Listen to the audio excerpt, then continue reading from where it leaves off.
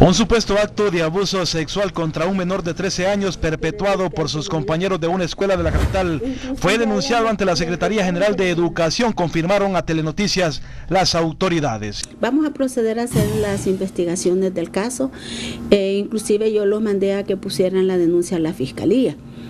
¿verdad? Ya, ya está interpuesta esa denuncia, le vamos a dar seguimiento, vamos a hacer las investigaciones. Que se han habido varios casos de niños que han sido como violados. Entonces le pedimos a las autoridades del Ministerio Público o el Ministerio de Educación que hagan algo al respecto de este centro educativo, el Centro de, Educación Comunidad Económica Europea. La denuncia ya se interpuso en la Fiscalía Especial de la Niñez mientras las autoridades educativas realizan sus propias investigaciones.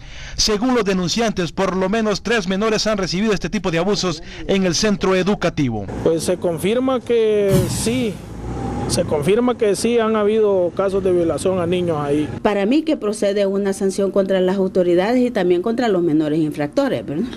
Telenoticias intentó entrevistar a las autoridades de la escuela, sin embargo fue imposible. Mientras la Dirección Departamental de Francisco Morazán determinará las responsabilidades administrativas de las autoridades de la escuela y de los alumnos. Proceder a realizar la investigación y lo demás pues le compete al Ministerio Público. Actualmente más de 50 denuncias al día se interponen en la Secretaría General de Educación por diferentes tipos de abusos o bullying, que no es más que el acoso escolar, hostigamiento o cualquier forma de maltrato verbal o físico producido por escolares en instituciones públicas y privadas. Una comisión de fiscales del Ministerio Público se apersonará la próxima semana al centro educativo para profundizar en las investigaciones. Mario Landa, Telenoticias.